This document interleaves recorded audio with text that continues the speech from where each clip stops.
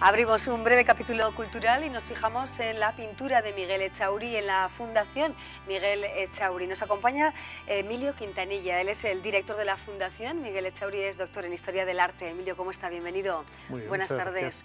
Vamos a glosar la figura de Miguel Echauri. En primer lugar, vamos a explicar quién es este autor navarro, este pintor eh, que presenta en su galería bueno, pues una exposición muy interesante que vamos a ir viendo también a lo largo de nuestra conversación. ¿Quién es Miguel Echauri?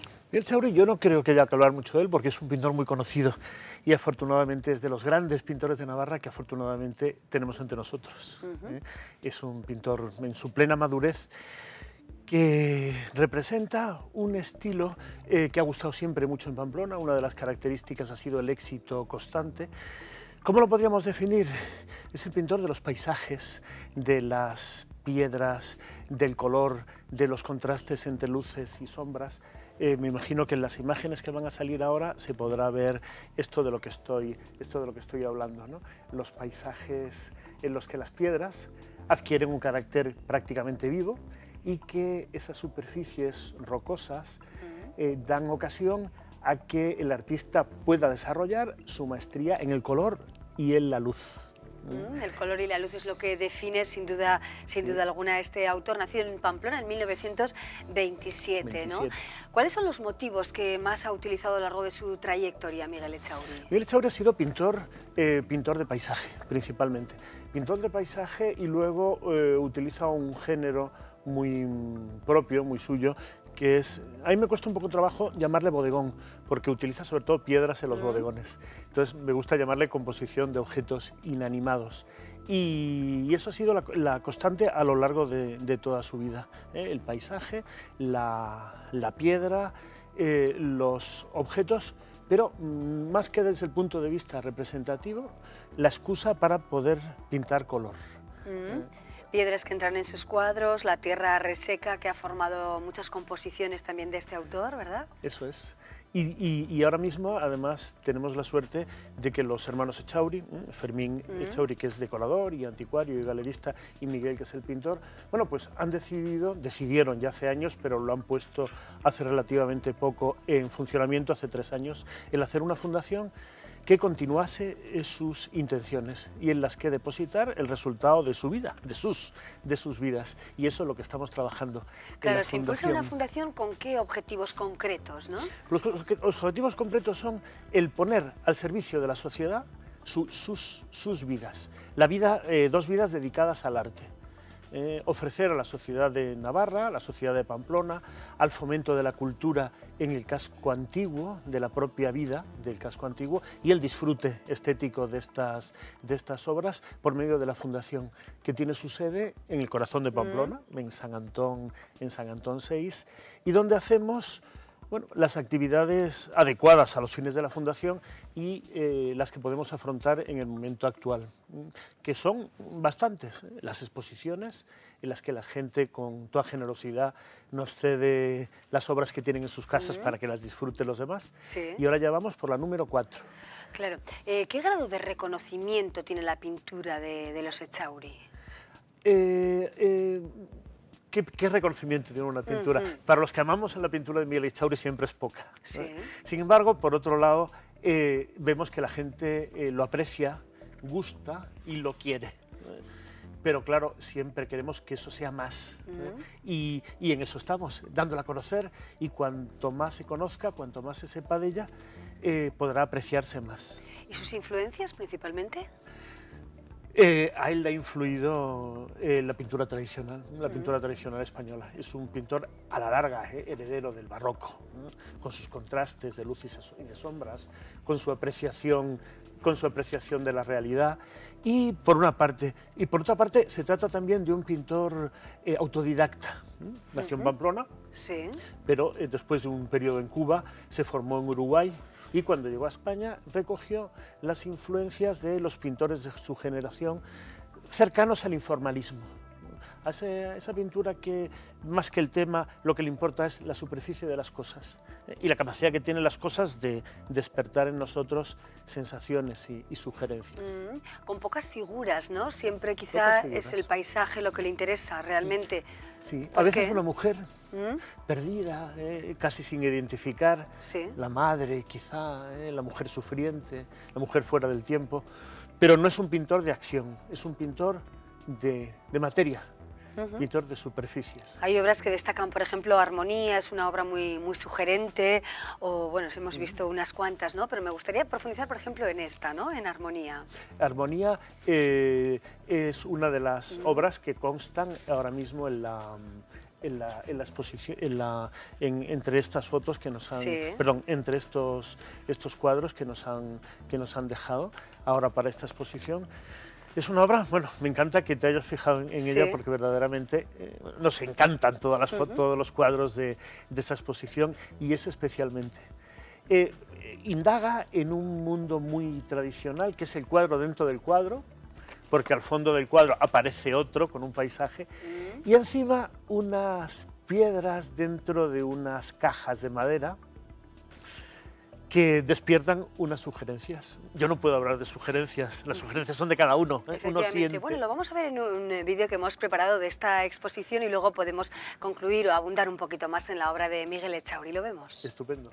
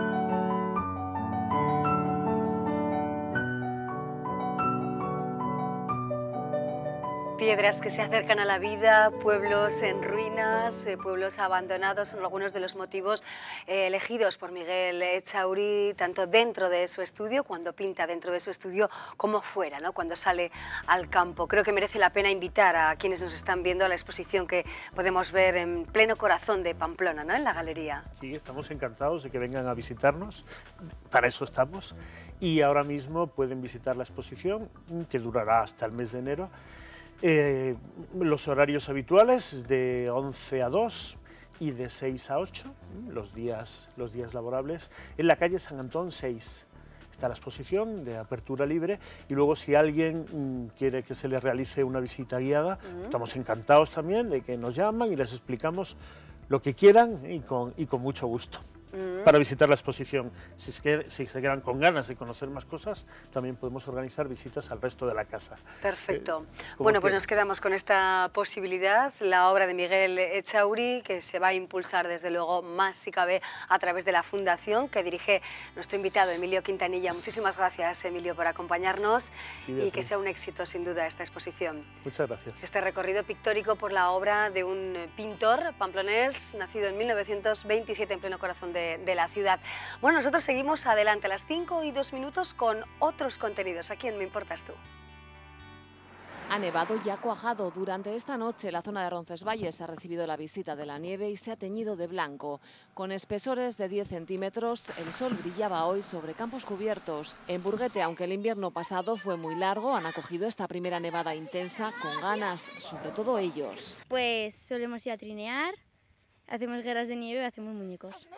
Hacer guerra de bolas de nieve. Pues tirar borras a los coches, a las ventanas y ir a triñar. La nevada trae guerra de bolas durante el recreo, una diversión para ellos y una complicación para los profesores que vienen desde Pamplona. Sí, hay veces que no pueden venir los profesores. Pues este año todavía no, al ser la primera, pero el año, que, el año pasado dijeron que estuvieron un- algún día sin venir, pero bueno. De momento la nieve se mantiene a raya, aunque los dueños de este bar todavía tienen muy reciente en la memoria lo ocurrido el invierno pasado. No, estuvimos hasta dos meses después, más o menos, sin que se fuera toda la nieve de ahí, de los baños, dos meses fácil. Esta era la imagen del bar El Frontón entonces. Quedaba sepultado por la nieve que se colaba también en el interior. Recuerdan que fue un invierno muy largo. Estamos acostumbrados, pero cansa un poco, ¿eh? Esperemos que este año no sea así, ¿eh? A ver, a ver si tenemos suerte y este año nieva poco. Al menos de momento esta nevada no les deja grandes problemas. Navarra está en alerta amarilla y la cota de nieve, que se sitúa en los 500 metros, subirá hasta los 900 al final del día. Sin embargo, mañana podría volver a nevar en cotas más bajas. Bueno, pues así está el tiempo, ya ven la nieve que está muy cerquita y ha estado nuestra compañera Ollane Garzaron en las nieves en el norte de Navarra. Les decíamos al principio del programa que muchísimo cuidado porque está cortada la carretera eh, que nos lleva a Lizarraga, al Valle de Rogoyena, en el punto kilométrico de la Navarra 120, en las proximidades de, de la zona de la Barranca, ha volcado un eh, camión, un camión estaba eh, cruzado hace ya un rato, así que muchísima precaución en esa zona especialmente. Bueno, cambiamos de tema, seguimos en el ámbito cultural y hoy damos la bienvenida al periodista y escritor Juan Iribas. ¿Qué tal, Juan? Bienvenido. ¿Qué tal? Muchas Buenas gracias. tardes. Bueno, tenemos ya en las librerías El destino de Sofía, Eso la es. tercera obra que firmas, ¿verdad? sí, sí. Con eh, bueno, dos protagonistas, ¿no? Una de ellas es Sofía, una mujer que amaba los viajes, pero que la enfermedad le impidió viajar, ¿no? De alguna manera ese es el punto de partida de esta obra. Eso es. Ella, por culpa de sus achaques, no puede otra cosa que, que estar en, en su casa y lo que pretende es viajar de una manera pues imaginaria. Y gracias al realismo mágico a través de esa novela comienza con una carta póstuma y pide que parte de sus cenizas lo que hagan es esparcirse por 25 ciudades. Y cuando fallece pues su cuidadora Elena Benavides eh, trata de que así sea, ¿no? Sí, la fuerza de voluntad es el motor de esta historia, protagonizada por dos mujeres muy diferentes, que proceden de un ámbito muy distinto, con gustos absolutamente dispares, ¿no? Sí, sí, totalmente. Dos personas, la primera Sofía, una mujer muy culta, muy preparada, eh, con mucha sabiduría, con bastante personalidad. Por otro lado está su cuidadora, que llega desde Honduras eh, prácticamente con una mano delante y una detrás y que gracias a el esfuerzo y al aprendizaje a través de la persona para la que trabaja, pues consigue en esa universidad de Sofía Mm, que menciono en el libro, pues llegar a ser una persona con cultura. Sí. La importancia de las relaciones humanas y también la necesidad de aprovechar el tiempo están muy presentes en esta obra. Sin ninguna duda, yo creo que es importante relacionarse, sacar partido al tiempo, sacarle jugo a las personas.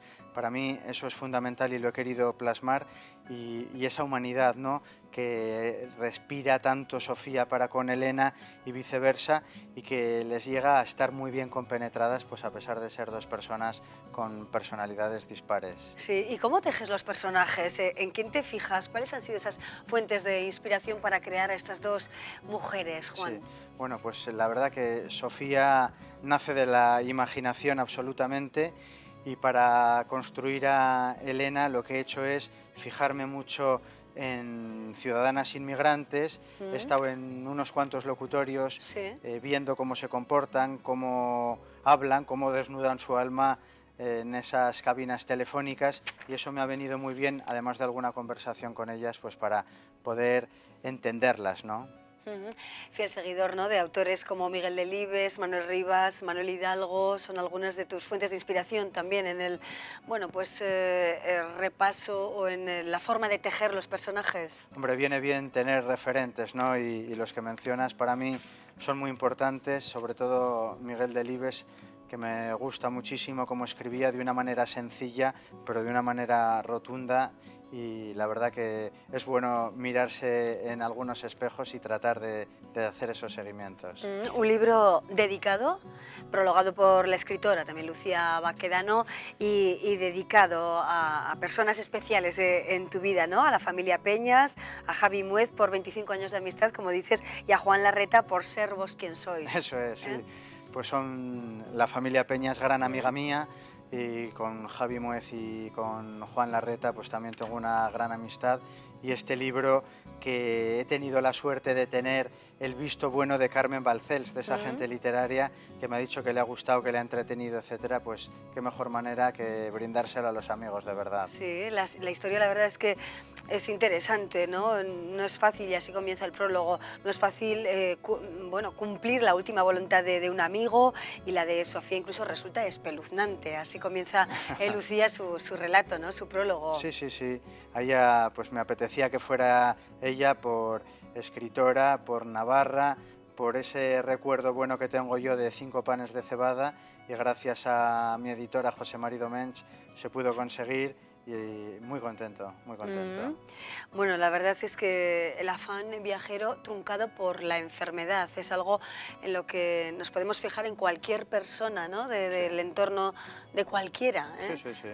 Pero a pesar de todo, una persona puede estar postrada en una cama y tratar de sacarle jugo a la vida a pesar de los pesares, ¿no? Y en este caso eso es lo que hace Sofía, lee mucho, eh, ve películas, eh, analiza el mundo del arte y es una gran conversadora con, con Elena, con, con su compañera de, esta novela y eso es una de las cosas que quiero decir, ¿no? que hay que saber aprovechar el tiempo a pesar de que algunas veces parezca que no se puede aprovechar por circunstancias de la mm. vida. ¿Y dónde se desarrolla la trama? Pues la trama ocurre en Madrid, mm. precisamente en la calle Serrano.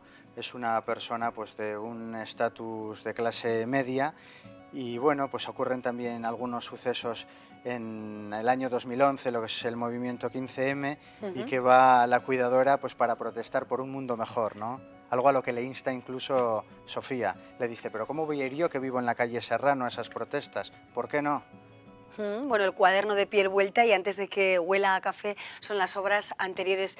Eh, ¿Qué tiene que ver esta última relacionada con el mundo de, Sofía o el destino de, Sofía con las anteriores, Juan? Lo que tiene que ver es que hay muchísimo diálogo, es algo que siempre me ha preocupado en lo que yo he escrito, que se escuchen y hablen mucho los personajes. En el primer libro que escribí, la cita comenzaba con un la palabra es mitad de quien la pronuncia, mitad de quien la escucha. Y me parece que eso es fundamental, trasladarlo a la vida y del papel a la vida pues puede que solo haya un paso. Bueno, se encuentran aquí secretos e intimidades de la vida de Sofía, ¿no? Hombre, muchísimo. Y hay cosas que no se han contado y gracias a ese realismo mágico que pone en comunicación a una con la otra, a pesar de que una está fallecida, pues se van desvelando historias que no se habían contado y que lamentan no haberse contado en vida. Por eso es otra de las cosas que yo pongo encima de la mesa hay que hablar mucho y hay que contarse las cosas porque luego el realismo mágico en la vida ordinaria pues no existe. ¿Cuánto hay de periodismo en el relato literario de Juan Iribas? Hombre, pues hay mucho porque hay que despejar muchas preguntas, hay que investigar, hay que ser preciso, hay que ser riguroso y eso pues yo creo que es el ABC del periodismo y hay que tratar de plasmarlo y de poner una buena redacción. Mm, la recaudación de, bueno, pues por la venta de algunos de tus otros libros de siempre eh, se han dirigido en cierta medida bueno, pues algunos organismos eh, a los que, con los que colaboras, ¿verdad? Sí, el primero fue benéfico mm. para la Asociación Navarra de Esclerosis Múltiple. Precisamente ayer que presenté el libro en Tafalla me contaban que de 2.500 ejemplares quedaban 30, con lo cual muy contento. Y a ver si mañana cuando voy a Civicán Mm. a las 8 de la tarde en Pío 12, pues podemos seguir diciendo cosas de ese estilo, que serán muy positivas. Perfecto, ¿dónde podemos adquirirla ahora? Pues se puede comprar en toda Navarra, se está distribuyendo también por distintas ciudades de España y si alguno no lo encuentra en su lugar de origen, puede localizarla a través de juaneribas.com que yo me encargaré de que le llegue sin ninguna duda. Mm. Juan Eribas, muchísimas gracias, mucho éxito con el Gracias. destino de Sofía. Muchas Hasta gracias, de pronto, muchas gracias. Bueno, seguimos adelante, les hacemos ahora otra propuesta que viene con la firma de Pachi Lasa. Pamplona, mi ciudad, la vieja Iruña, que yo, vamos, es que tanto me gusta y tanto he disfrutado.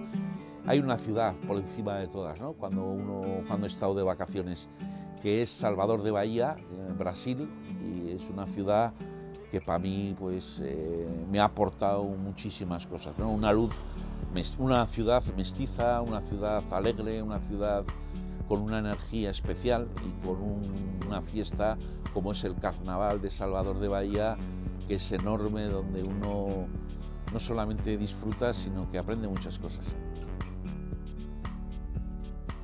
Bueno, eh, Salvador de Bahía está en el nordeste de Brasil, es una ciudad, fue el primer puerto de esclavos que cuando los esclavos los traían a Sudamérica era el primer puerto donde los recibían y allá se vendían. De ahí luego pasó a Haití pasó a La Habana, a Cuba. Y bueno, por eso es una ciudad que el 80% de la población es mestiza. ¿eh? Hay canciones muy conocidas allá, porque es una ciudad de grandes músicos, con Caetano, Caetano Veloso, eh, Carliños Brown, eh, bueno, Gilberto, Gilberto Gil, eh, bueno, tiene una calidad musical enorme. Y entonces es un- una ciudad donde la cultura, la mezcla afro, eh, la mezcla de lo afro con lo blanco, con lo indio, eh, está muy bien. ¿no?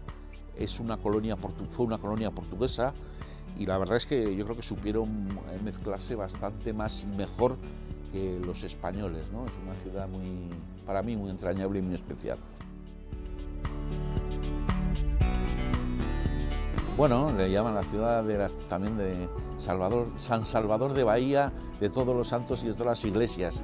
Pues ¿por qué? Pues es una ciudad que tiene muchas iglesias, además eh, coloniales y cada día es de, cada día tenía una ciudad, por eso una iglesia y por eso le llaman la ciudad de las 365 iglesias. ¿no? Bueno, es una curiosidad y la verdad es que bueno, yo he ido bastante a esta ciudad, sobre todo por los carnavales y bueno, a bailar sambarrigui, a disfrutar con los blocos afros de, de la ciudad. ¿no?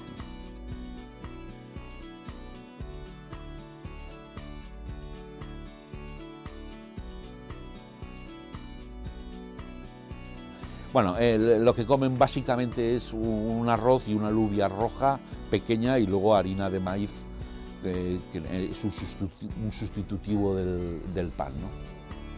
Pero la verdad es que luego tienes de todo. Eh, hay cantidad de establecimientos chinos, hay comida europea, hay pollo, hay pescado. Eh, tienen, es una eh, tienen una carne bastante, bastante buena, que para nuestro gusto la hacen demasiado, pero no, pero está muy bien.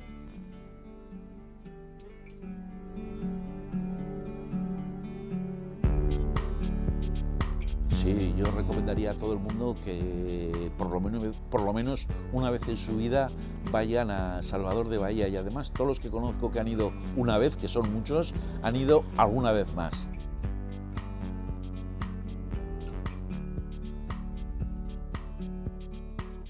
Gracias a Pachi Lasa. Bueno, ya ven, han cambiado los ingredientes de este plato rápidamente. Contamos con más ingredientes y sobre todo contamos con Elena BM de Capricho Elena, un blog de gastronomía muy conocido y que además, bueno, pues ha recibido un importante premio en un concurso celebrado recientemente en Madrid. Elena, ¿qué tal estás? Hola, buenas Bienvenida tardes. al programa. Bien.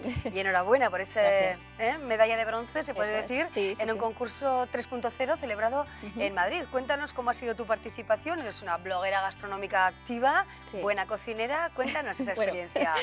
Eh, bueno, pues me presenté al concurso, bueno, tam- tampoco sin ninguna pretensión, yo creo, Ujú. como todos los participantes, ¿no? Y bueno, tuve la suerte de pasar a la final, quedé entre los cinco finalistas, primeramente, y luego me avisaron de que había quedado tercera en el Ajá. concurso de, de Show Food. Y bueno, ha sido un subido para mí, así, la verdad es que no lo esperaba y sobre todo, bueno, porque es una tapa con unos ingredientes muy tradicionales que luego veremos y tal, entonces para mí ha sido como más, como más alegría, sobre todo por, por la tapa que es, que la inventé hace tiempo con mucho cariño y bueno, pues bueno, ahí está. uno de los blogs que tienen muchísimos seguidores, ¿no, Sí, Elena? Y cada sí. vez más. Sí. Eh, ¿Cómo se te ocurrió a ti, bueno, pues inmiscuirte en este mundo de la gastronomía a través de este escenario 2.0? Pues siempre me había gustado la gastronomía, siempre había estado haciendo mis pinitos, eh, mi madre me enseñó muchas cosas y yo le veía mucho, a mi madre es una gran cocinera y mis abuelas igual. Y bueno, pues eh, de estar metida en la cocina, pues fui aprendiendo y tal. Y cuando empezó todo el mundo, todo el boom de los blogs y tal, dije, bueno, pues es una manera de hacer blogs y de algo que me gusta. Pues la gastronomía, pues para que la gente también tuviera mis recetas, que me, pre- que me pedían, me preguntaban. Y digo, bueno, es Claro. una manera de tener ahí una bitácora, ¿no? Sí, sí, bueno, la verdad es Y- que he estado repasando tu blog y ahí había pol- polvorones, pastas, dulces, de todo tipo de, Le doy un poco de delicias, ¿no? Culinarias. Sí. Me he quedado con los dulces, que es lo que más me Ah, gusta, bueno. pero bueno. Bueno, pues eh, yo creo que esa etapa ganadora la vamos a hacer hoy aquí, ¿verdad? Así Vale. que, Elena, yo creo que eh, más o menos esta cocina es tuya y Sí. nos vas a ir contando los ingredientes que has utilizado Vale. para esta tapa que se llama, vamos a recordarlo. tiene, eh, son pimientos del piquillo rellenos de migas de pastor con huevo de codorniz trufado y salsa de piquillos. Bueno, Necesito tres líneas. delicioso, ¿eh? Tenemos las Sí. migas de pastor como Eso es. principal ingrediente, ¿verdad? Esas que se han hecho previamente con, bueno, con pan de tipo cabezón, que yo Sí. lo compro en Burgui siempre.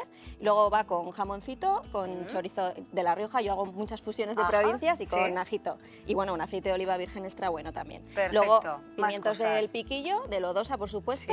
Sí, sí, sí. Los huevos de codorniz los trufo previamente con Ajá. trufa tubermelaноsporum. Sí, ahí tenemos los huevos de, de codorniz, Están ¿verdad? escalfaditos luego, Sí. que se hacen bueno, pues con un fil, se meten para cocer y ahí están trufados. Muy y luego bien. lo que es la salsa es una salsa muy sencilla de nata y pimiento de piquillo, o sea que tampoco tiene mucho más misterio. Sí, bueno, ¿con qué cantidades más o menos? Así para que nos hagamos a la idea. Pues es ¿Qué nos depende, recomiendas? depende lo que vayas a hacer, porque, bueno, pues depende. Yo, por ejemplo, el otro día lo tuve que hacer pues para 15 amigos, pues haces, pues, pues normalmente la tapa suelo poner tres pimientos, ¿no? Sí. Pues, bueno, vas multiplicando un poco y las Eso cantidades de las migas un poco a ojo y, bueno, la salsa es un poquito por encima. Ajá. Y bueno, y luego tenemos uno. los pimientos de piquillo aquí Eso es. excelentes, ¿no? Eso es, sí, sí, siempre con denominación de origen sobre todo, que es muy importante. Claro. Buen- buena materia, buen producto para Sí. que luego salga una tapa ganadera. Eso, esto además siempre lo promocionas así, ¿verdad? Los buenos productos de la huerta Siempre, y el de navarra, Navarra sobre todo. claro. principalmente, ¿verdad? Hay que hacer bueno, y a partir de ahí, con todos estos ingredientes, ¿cómo organizamos el plato y la tapa? Pues nada, es muy sencillo. Cogemos los pimientos del piquillo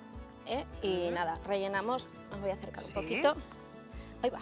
Nada, no pasa nada. Rellenamos con un poquito de las migas, ¿Sí? así. Vale. Ahora cogeríamos uno de los Uno de los huevitos que están trufados, lo metemos adentro Sí. y nada, y otras migas. Vaya, hoy están las migas saltarinas. Sí, no pasa Sí. nada. Les dejamos, ¿eh? Sí, ¿no? Que está muy bueno, ¿no? Incluso las que sobran, ¿no? Sí. Elena, bueno, este pl- plato o tapa, eh, vamos a decir que lo podríamos tomar con qué? ¿Con qué tipo de vino, por cierto? ¿Qué Bueno, vino navarro Pues mira, yo además lo he maridado con varios, pero Sí. le va muy bien un blanco, por ejemplo, un, Mm. un blanco, yo que sé, un Guerindas, por ejemplo, un. Chardonnay le va muy bien. Sí. El rosado de Navarra, típico de aquí, pues también. Y cualquier rosado, el de Alex, por ejemplo, de este Ajá. año de la cosecha que ha salido muy bueno. Sí. Y tintos, es que yo creo que le va a cualquiera, ¿eh? porque son unos ingredientes como muy, muy fáciles de Fáciles, maridar. ¿verdad? Muy tradicionales Sí, también, ¿verdad? y que le va un poco todo, porque tienes de todo. Pues tienes la verdura, tienes la grasita del chorizo y tal. No sé, yo creo que un poco de todo y al gusto del consumidor. Yo soy Muy un poco alejada de los típicos maridajes de para la carne, el tinto. Ajá. pa- Siempre intento alejarme un poco de eso. Muy bien, yo ahí creo tenemos que- huevo de codorniz, migas de pastor, pimiento del piquillo Eso es. y luego veremos qué hacemos con la salsita que hemos elaborado, ¿verdad? Sí, bueno, la salsita es un poco más que nada a modo de acompañamiento. Bueno, pues para darle otro toquecito también de color. Perfecto. Bueno, ¿y cómo fue este concurso en Madrid, Elena? ¿Hubo, eh, bueno, pues, pues buenas recetas, supongo, buenas tapas y Muy estaría buenas. reñido, ¿no? Sí, sí, la verdad ¿Cuántas que... personas participasteis? Pues la verdad es que no nos lo dijeron, no, no, no nos enteramos cuántas Sí, eran, la sí. verdad. Y, pero nos dijeron que había habido bastante, que estaban muy contentos de la participación que había habido. Bueno, yo sé de otros bloggers que sí, que Sí. se han presentado.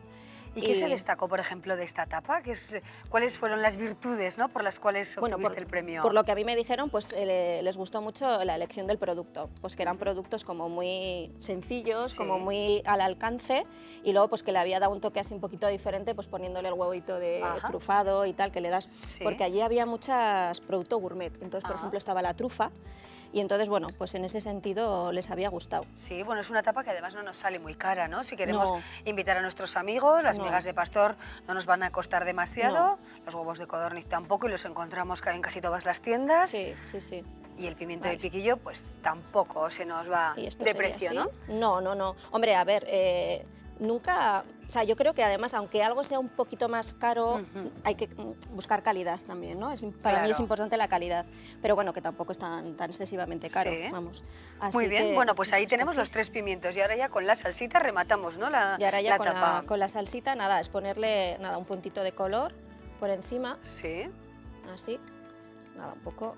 perfecto. Bueno, esto para una persona es una tapa considerable, Elena, ¿eh?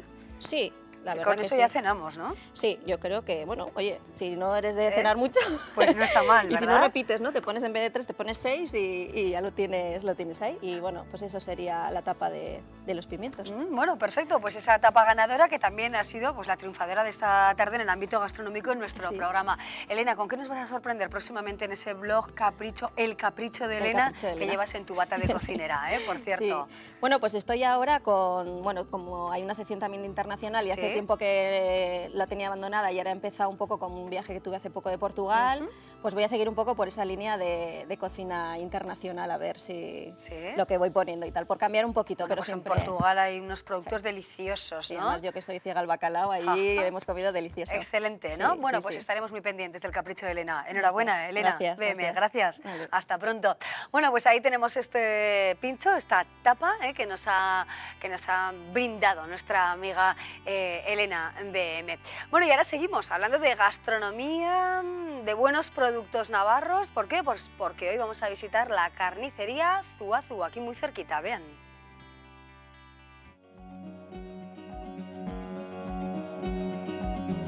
Hola, ¿qué tal? Soy Luis Tuazu y quería presentaros Carnicerías Tuazu.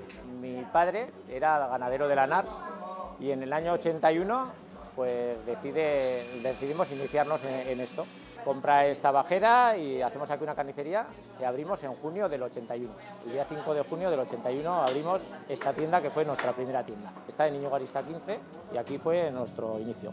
Compramos más tarde otra en Travesía de Acella, eh, luego otra en Sancho el Fuerte y ahora en Avenida de Ripagaña. Intentamos tener siempre pues, carne de máxima calidad, por supuesto de ganaderos que son nuestros ganaderos, ganaderos de aquí de Navarra, de Ternera de Navarra, en el caso de ternera, eh, cordero también de aquí, cordero de Navarra, y luego ya tenemos eh, cerdo cercana, certificado, y conejo cricón, pollo coq.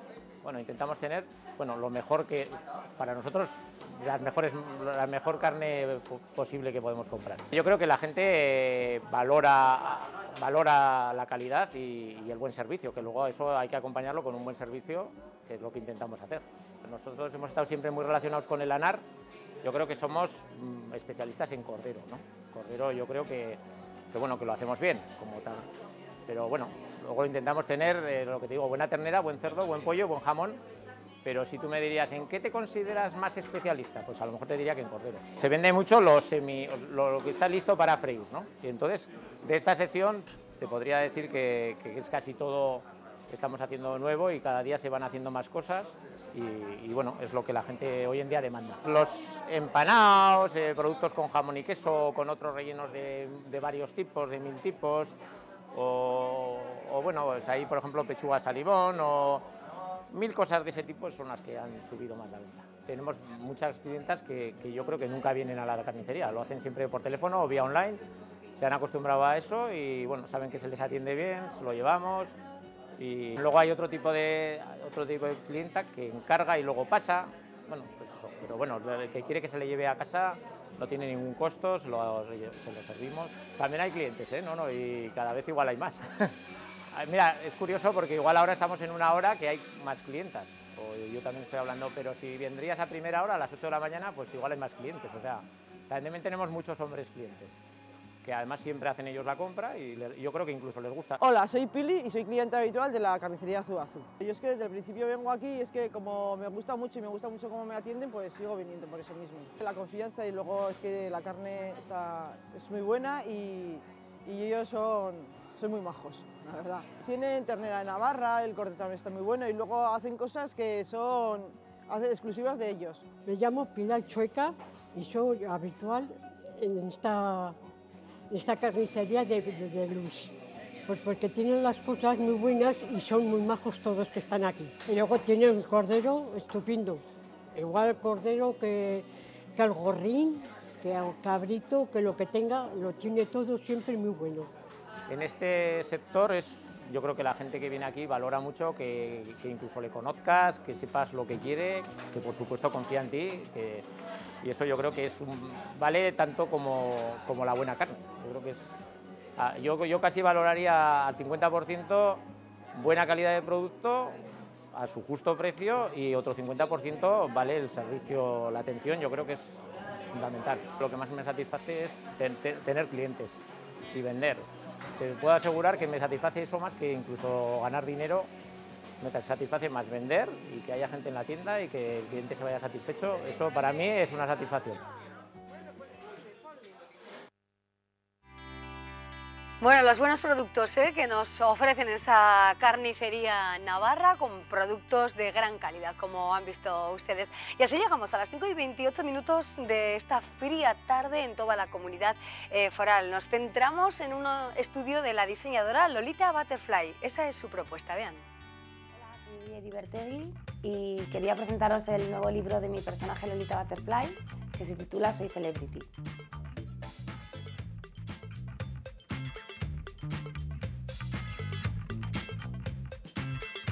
Pues es una niña que tiene 8 años y es fashion victim, así en líneas generales. Entonces, eh, bueno, aparte tiene una vida normal con sus amigas, con su familia y bueno, lo que ella hace es criticar un poco el mundo de la, dar un poco la visión de una niña pequeña del mundo de la moda. Entonces, desde el humor y se mete, se mete, tiene una crítica así bastante ácida, pero como es una niña y es de mentiras, pues, pues puede.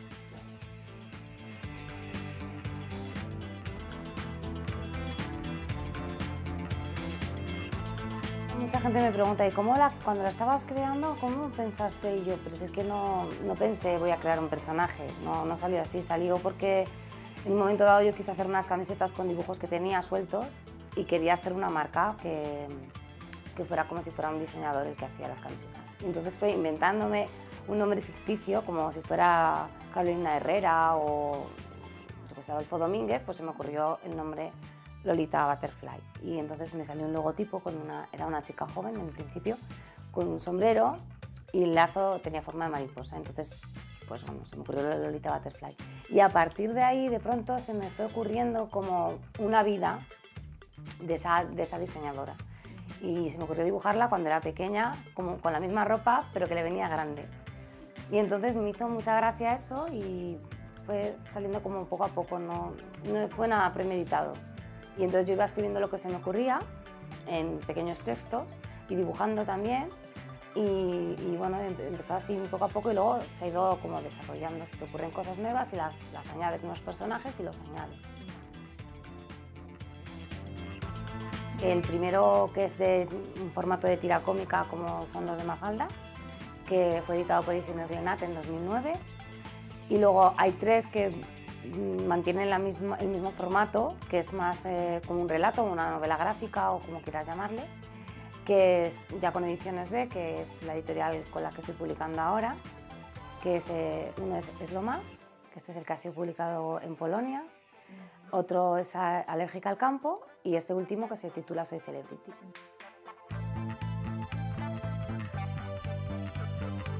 Una, una, historia así un poco rocambolesca, ¿no? porque Lolita se va a Italia, le surge la oportunidad de ir a Italia y y se va, y además se va con sus amigos. Entonces es una aventura un poco en común y además es un libro que va sobre, sobre la amistad, en concreto, sobre todo en la amistad que mantiene con Maripe, que es su best friend forever. Y entonces les pasan, bueno, se van de viaje y como siempre pues Lolita mete la pata y luego lo tiene que arreglar.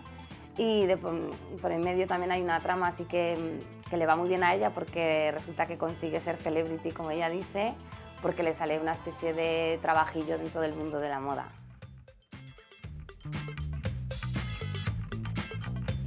Yo creo que es un personaje divertido, que está, está para pasar un buen rato, sin muchas más pretensiones, pero yo creo que también hay una crítica detrás a, a todo el mundo, un poco este, este tema absurdo de la imagen, ¿no? de esta esclavitud que tenemos.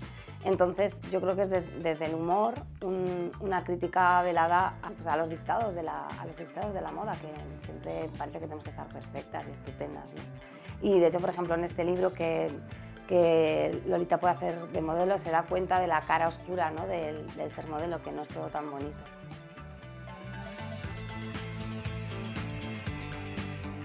Gracias por haber compartido este rato conmigo. Hasta luego.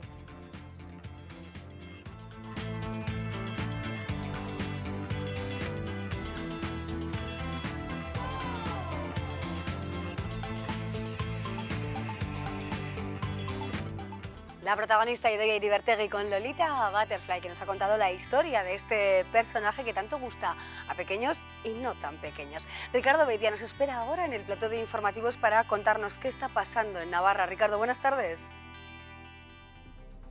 ¿Qué tal Amaya? ¿Cómo estás? Muy buenas tardes. Navarra se viste de invierno, sobre todo en el norte. Lo que vas a ver es Burguete, donde la nieve ha cuajado más de 10 centímetros. Ha sido la primera acometida de un frente que ha entrado de madrugada. Hemos estado en esta localidad y sobre todo en un bar donde saben de lo que hablan. En febrero de este año tenían que evitar la nieve y lo hacían a palada limpia, solo esperan que este invierno que se echa encima no sea como el anterior. Hemos recuperado esas imágenes, ya lo ves.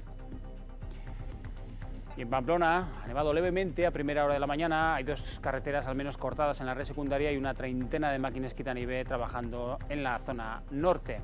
Hoy se, celebra, se ha celebrado la segunda sesión del juicio por los incidentes en el Chupinazo de 2010 y el joven madrileño José Carlos Arranz ha comparecido esta mañana en un juicio en el que hay 13 procesados. Ha relatado ante el juez las consecuencias de las lesiones que le produjo el botellazo que recibió.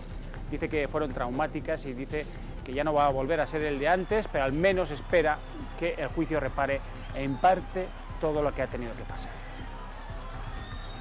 Se han visionado vídeos y un policía municipal ha declarado reconocer a 13, jóvenes, a 13 de los jóvenes procesados.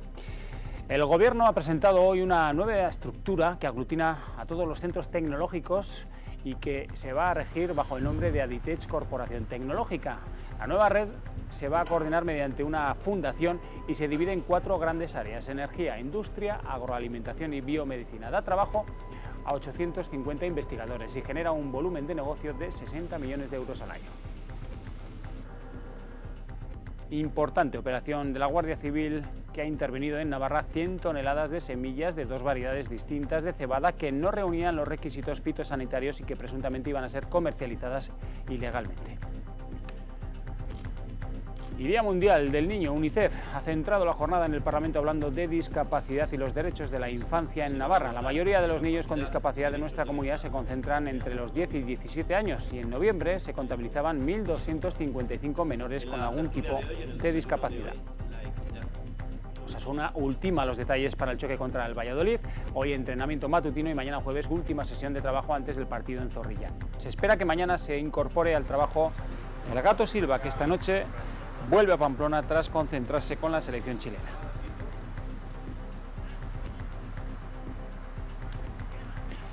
Cuestiones que vamos a abordar a las ocho y media de la tarde en la segunda edición de las noticias. Nada más a Maya, que pases una muy feliz tarde. Muy bien, Ricardo, muchísimas eh, gracias. Nos ocupamos muy especialmente del tiempo. Les vamos a contar enseguida la previsión meteorológica para las próximas horas. Pero antes pasamos por la sala La Muralla de Baluarte, del Palacio de Congresos y Auditorio Baluarte. Allí se ven, se pueden observar las obras de 206 eh, eh, equipos de arquitectura que se presentaron recientemente a los premios organizados por el Colegio de Arquitectos Vasco Navarro. Con esa muestra continuamos ya en el tramo final de nuestro programa. Trabajos de arquitectura firmados por arquitectos de Navarra y el País Vasco.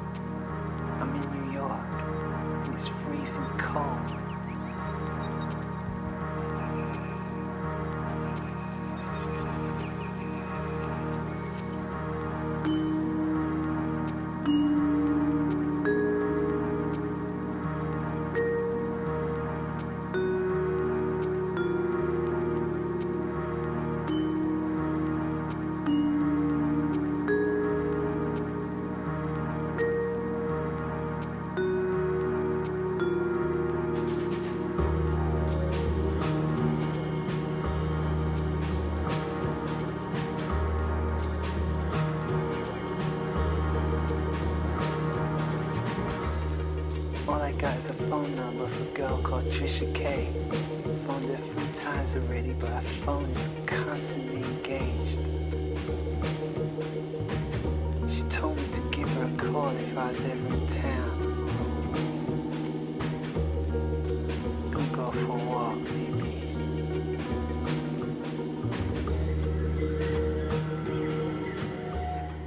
Esas mejores obras hasta el 23 de noviembre en la Sala La Muralla de Baluarte. Y ahora, como les decíamos, vamos a ver cómo estará el cielo, si va a nevar, si va a seguir el frío intenso. Con el tiempo nos despedimos y por supuesto les invitamos a que vengan o que se acerquen a nosotros mañana a partir de las 4 de la tarde. Entre otras cuestiones, conoceremos la trayectoria de los galardonados por el Instituto Navarro de Deporte y Juventud y los galardones de juventud que este año han recaído, entre otros, en la Fundación Atena, en el Ayuntamiento de Tafalla y en el ah, autor con discapacidad visual, Xavier Armendariz. Que pasen una feliz tarde. Adiós.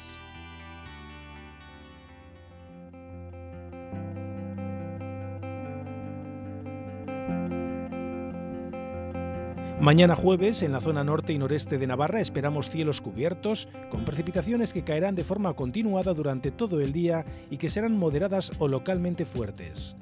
En el este y sur, cielos cubiertos con lluvias moderadas y persistentes.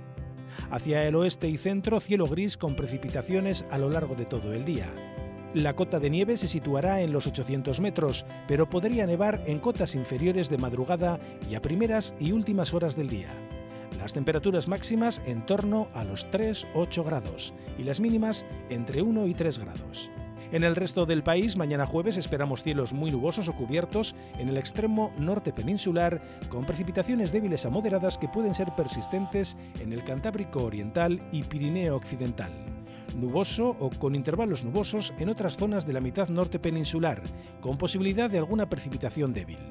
Poco nuboso en el resto de la península. Nuboso en Baleares con probables chubascos débiles localmente moderados y con tormenta. En cuanto a la tendencia para los próximos días, el viernes seguiremos con frío, pero las precipitaciones disminuirán de forma clara y caerán sobre todo al norte y oeste de la comunidad. El fin de semana quedará con cielos nubosos, mucho frío y con riesgo de alguna precipitación débil hacia el norte y oeste de Navarra.